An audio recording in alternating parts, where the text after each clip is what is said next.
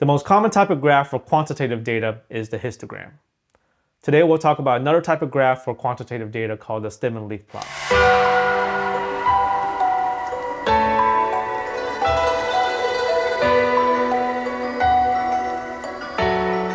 Stem and leaf plots are plots that we can make for quantitative data, which are the numbers. Here, I have some numbers.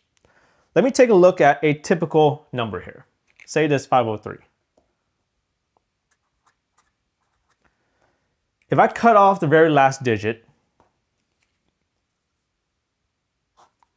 that very last digit is called a leaf. Everything before it is called a stem. So in my data here, the very last digit is going to be a leaf. Everything before that last digit is a stem. And the way we're going to make our stem leaf plot is we're going to first list out all the possible stems in my data. Okay, so the stem for 503 is 50. The stem for 499 is 49. 495 is 49. I have some 48s. What else do I have? I have some 51s, some 52s. So it looks like if I look at my stems, which is just the first two numbers in my data, I have 4, 48 all the way up to 52. So I'm going to list out all the possible stems.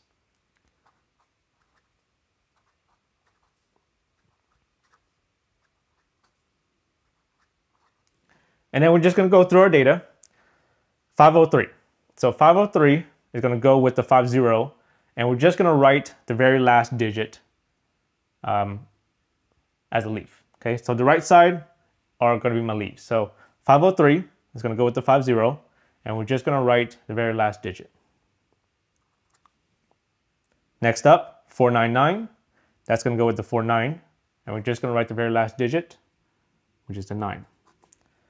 Next, 495, that's going to go with the 49 again, and we're just going to write the very last digit. 501, that's going to go with the 50, and we're going to write the very last digit. 499, that's going to go with the 49 again. 503, that's going to go with the 50, and we just write the very last digit. 491 goes with the 49.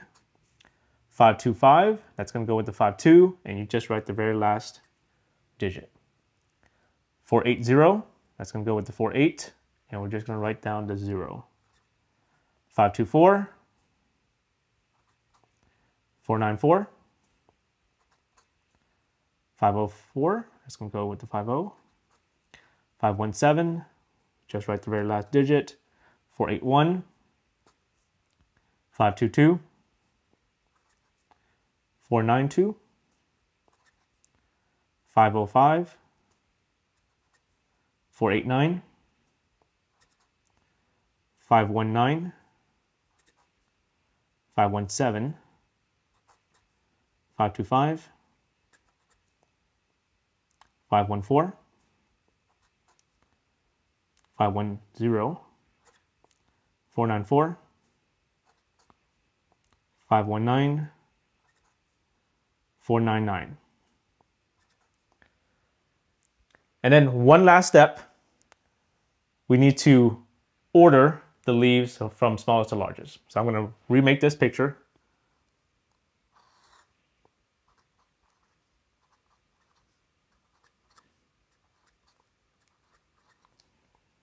And put the leaves in order. So 019 is already in order. So 019. Okay, for the 4, 9, uh, these are not in order. So put this in order.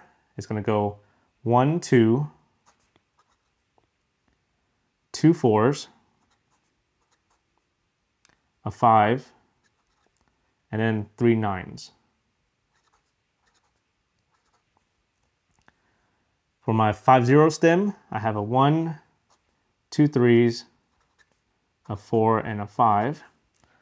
For the 5-1, I have 0, 4, 7, 7, and then two nines.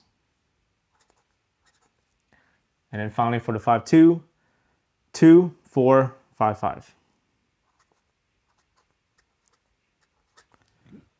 And that's how you make a stem leaf plot.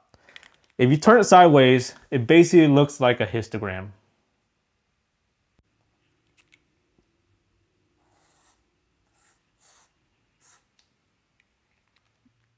The nice thing about a stem and leaf plot is you can go backwards and get the original data. Here I have a stem and leaf plot. Let's go backwards and list out the original data. Remember, the way the stem and leaf plot works is the stems, which is the left part, tells you the first part of your number. And then each leaf represents the very last digit. So this 1 means 2.81. Okay, so 2.8 is the first part of your number, and then the 1 is the very last digit. The next one represents another 2.81. The 2 represents 2.82. The 0 here represents 2.90. The 6 represents 2.96. So the stem tells you the first part of your number, and then each leaf, each digit on the right side here is the very last digit of the number. This 2 is 3.02. The 8, that's 3.08. Another 8, that's another 3.08 the 9, 3.09. Now, I have a blank here. So if there's no leaf, that means there's no number that starts with 3.1. Okay, which means our next number is this 4. That's going to be 3.24. So let me write that down. No leaf,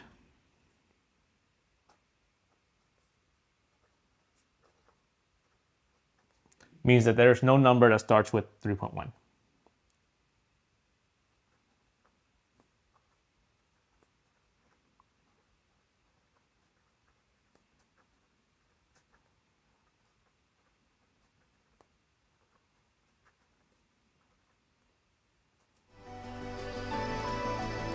And that's how you get the original data from a stem and leaf plot.